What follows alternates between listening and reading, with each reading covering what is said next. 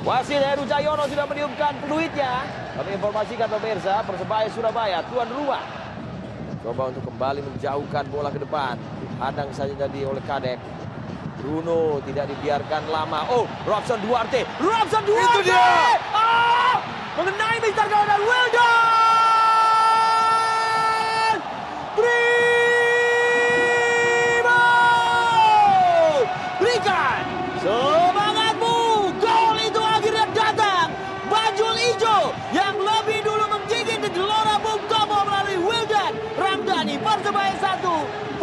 Kediri 0 peran dari Baktim kepada Fitra Ridwan. Dia datang mendekati kotak penalti baik sekali. Flavio satu dua. Fitra Ridwan. Gol!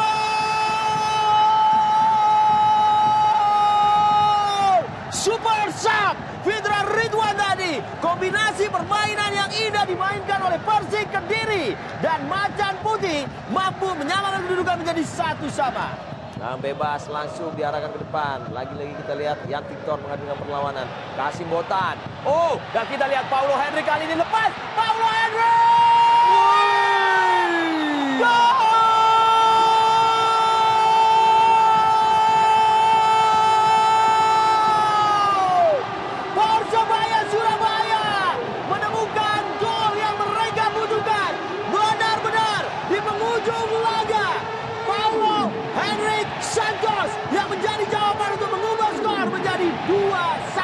Untuk keunggulan Persebaya atas Persik Kediri. Iya dua kali selalu terjebak dalam posisi offside tapi Paulo Hendrik tidak menyurutkan motivasi dan keinginannya untuk bisa mencetak gol. Sebuah pergerakan dan diakhiri dengan sebuah tendakan yang sangat baik. Panjang yang menutup musim dan perjalanan Persebaya Surabaya dan juga 2024 dan berakhir dengan